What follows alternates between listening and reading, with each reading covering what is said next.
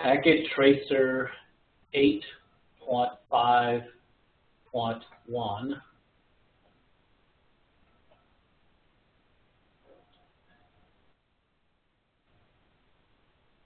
looks like we are presented a table that has the devices listed, the associated interfaces, IP addresses, and subnet mask, as well as default gateway.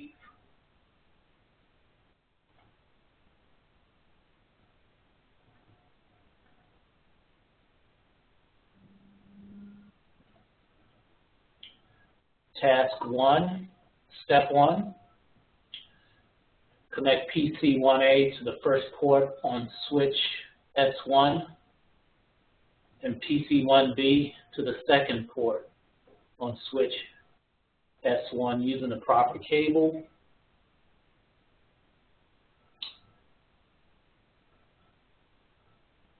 Proper cable, in this instance, would be a straight through cable because the PC and switch do not send and receive on the same pins.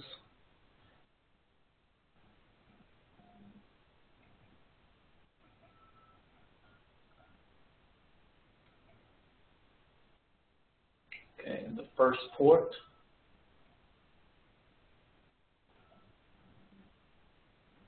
Connect PC1B to the second port on the switch.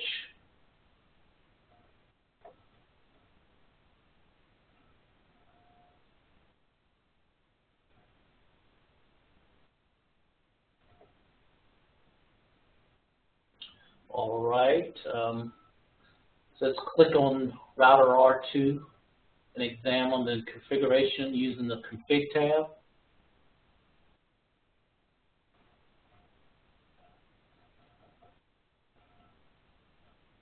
All right. There are two fast Ethernet interfaces and two serial interfaces.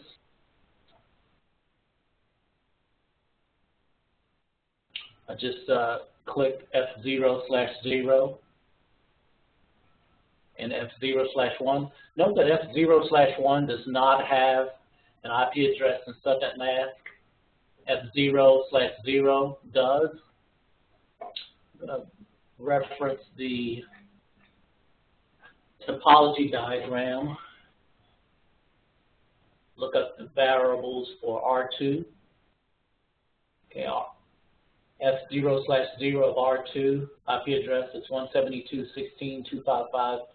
172.16.255.254 and slash 16 subnet mask.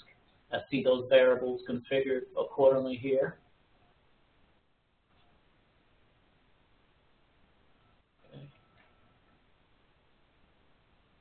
All right, the instructions state connect the proper interface on the router to interface F024 on the switch.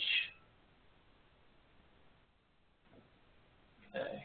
Again, I will use a straight through cable because the pins on uh, the router will not uh, conflict with the uh, sending pins on the switch. Remember F0 slash 0 is the interface with the IP address. So we will uh, connect that interface to the switch.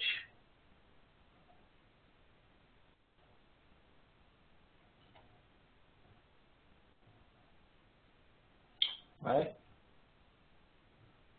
Next step states click on both routers and examine the configuration using the config tab. Connect the routers together using the proper interfaces and proper cable.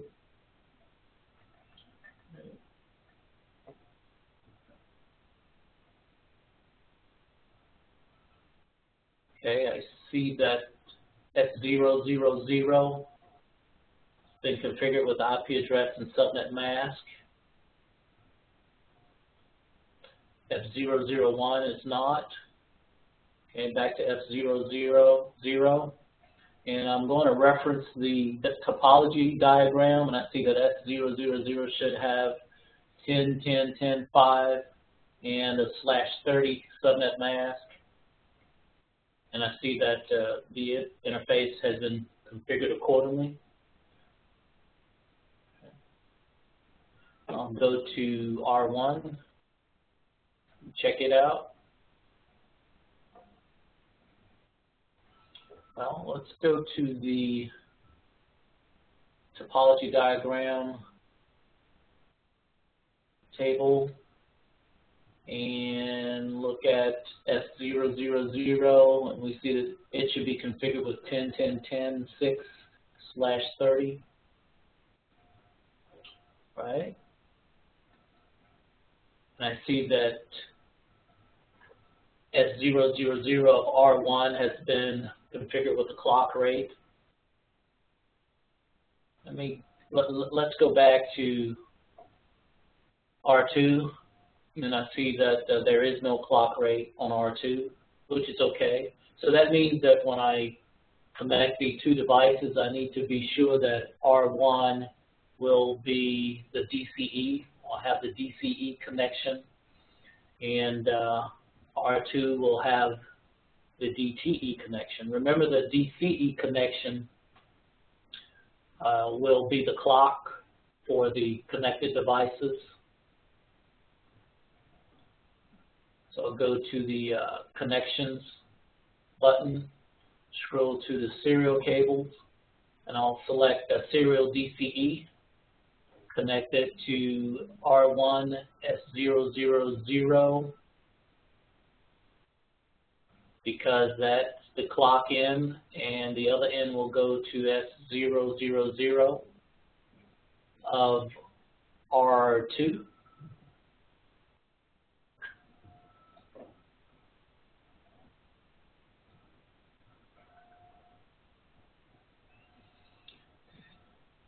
All right. Click on router R1 and and examine the configuration using the config tab. Okay, I see that F00 has been configured with IP address and subnet mask.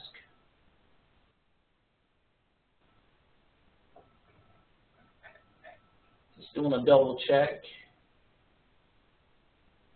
Okay, the appropriate IP address has been and subnet mask have been assigned to F00. Okay, now I'll need to connect the proper interface on the router to the proper interface on the Eagle server using the proper cable. PCs or servers and routers transmit on the same pins, so this type of connection will require a crossover cable.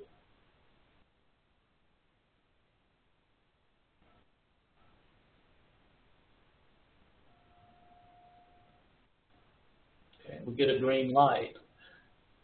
Note what happens if or when we use the straight through cable. We do not get green lights. Okay.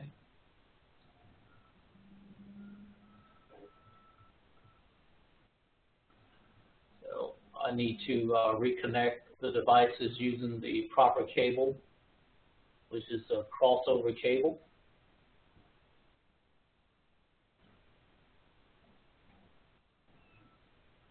Okay, now it's time to verify connectivity. On command prompt on the desktop, I need to ping 192.168.254.254. Well, what device is that? It looks like Eagle server.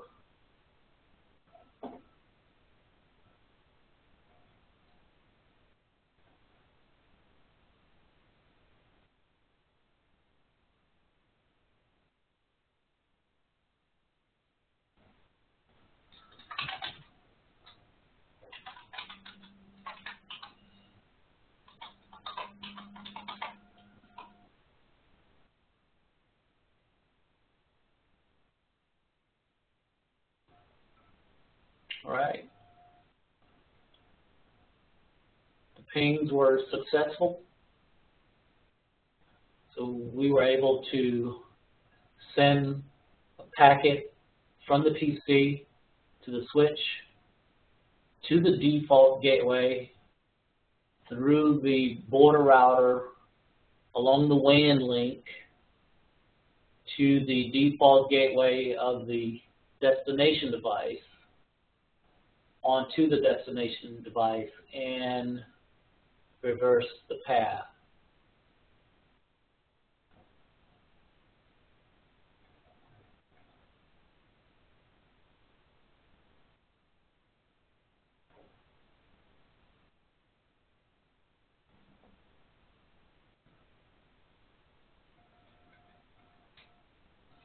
All right, uh, now we should uh, check the configuration by clicking the Check Results button.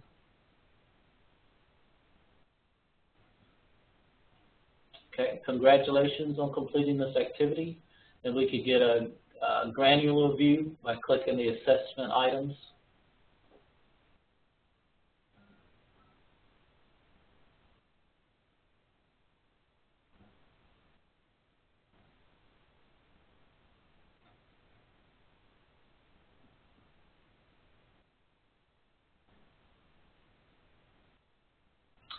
Okay, on to task two.